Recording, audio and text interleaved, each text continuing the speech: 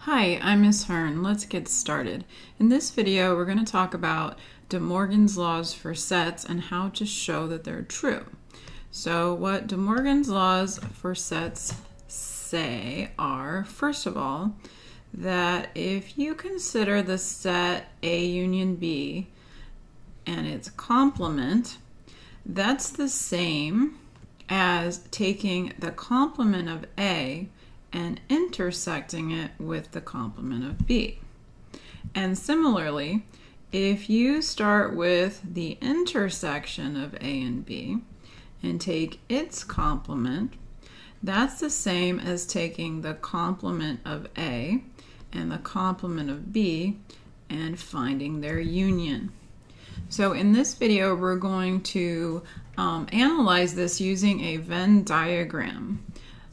Here I have a Venn diagram of two sets, A and B, and you can see that I have Roman numerals there that represent the regions.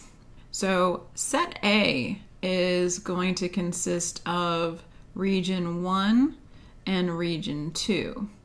And set B consists of region 2 and region 3. And outside of sets A and B in the universal set, but not in A and B is region 4. So we have four regions under consideration. And so what we're going to do is kind of pretend that those region labels are elements of the given set. For example, I'm going to pretend that A is the set containing two elements, Roman numeral 1 and Roman numeral 2 and B is the set containing the two elements Roman numeral 2 and Roman numeral 3. And U, the universal set, contains all of the regions. So it has Roman numeral 1, Roman numeral 2, Roman numeral 3, and Roman numeral 4. And what I'm going to set out to do is to use these sets to demonstrate that De Morgan's laws are true. So let's start with the proposition that the complement of A union B is equal to the intersection of the complements of A and B. How can we establish that that's true?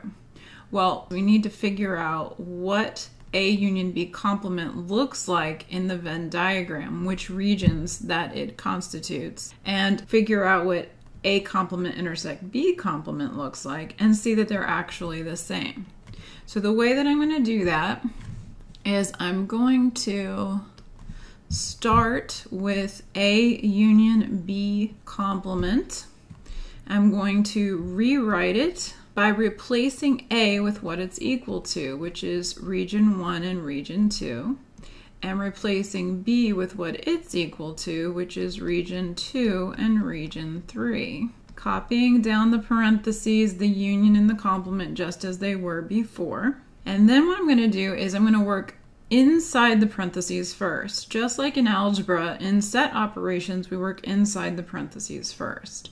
And remember that union means that you unite the two sets into one big set.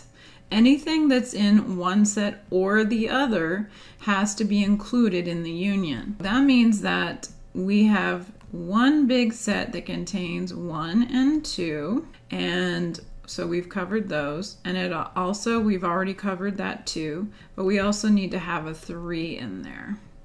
So the union is putting them together into one big set. And then this little symbol out here, that's the complement that says what's not in the set. Something in the universal set that is not in regions one, two, or three. Well, in other words, if you take out of the universal set 1, 2, and 3, what's left is just region 4. So the complement of the set containing 1, 2, and 3 is 4. If I were to draw a picture of this, A union B complement could be depicted as shown here. Now let's figure out what A complement intersect B complement looks like. So once again, I'm going to replace A with what it's equal to, regions 1 and 2. And remember, we still have to copy down that complement symbol and the intersection symbol. And then we're going to replace B with what it's equal to, which is regions 2 and 3. and copy down that complement symbol. Okay, so now we have to do the complements before we can do the intersection. Again, it's a kind of order of operations for set. First, you work inside any parentheses, then complements of individual sets, and then unions and intersections from left to right.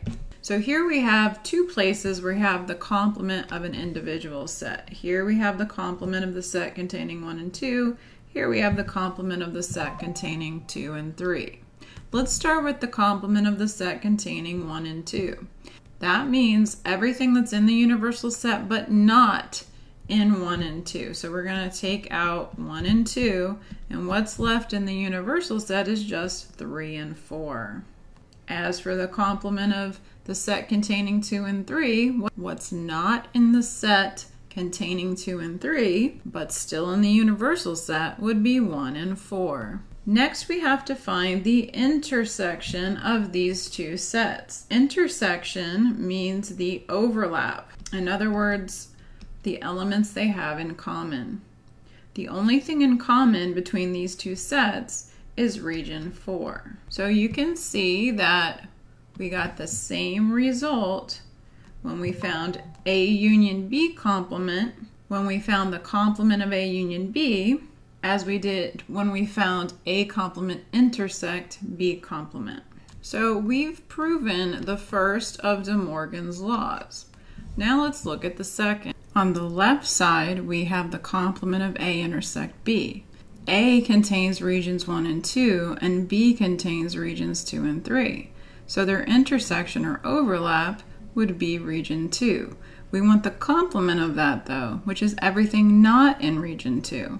So that's regions 1, 3, and 4. Similarly, on the right we have A complement union B complement. A is the set containing 1 and 2, so its complement contains 3 and 4. B contains 2 and 3, so its complement contains 1 and 4. If you find the union of those two sets, you get the set containing 1, 3, and 4 again. So A intersect B complement is equal to A complement union B complement, and they both can be represented in the Venn diagram by shading all the regions except region 2. So we've proven the second part of De Morgan's laws. I hope you found this video helpful. If you did, please give it a thumbs up. That will help other students to find the video.